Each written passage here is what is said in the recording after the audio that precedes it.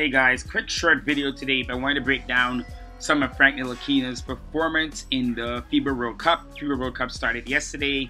Check out our last video where we kind of go in on all the teams and what to expect. Take note.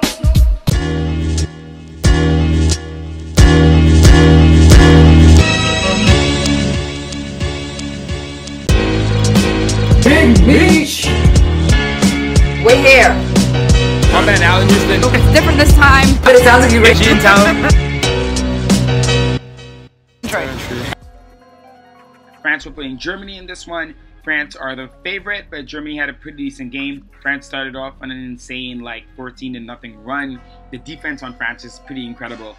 Rudy Gobert obviously have the defensive player of the year, so you have the best guy at the rim in the entire tournament.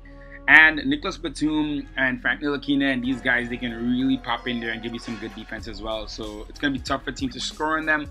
As for Frank specifically, some good and some bad. Well, I mean, kind of just, you know, up and down. You know how Frank is. So we get some really nice shooting today, at least from the perimeter. Two for two from deep.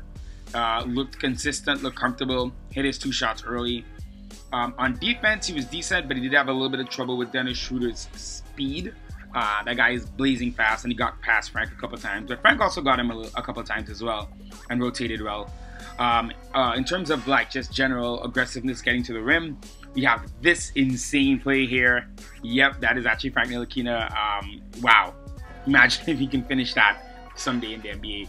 And other than that, you know, France, he only played 13 minutes. France were pretty solid overall. They went to the vets late.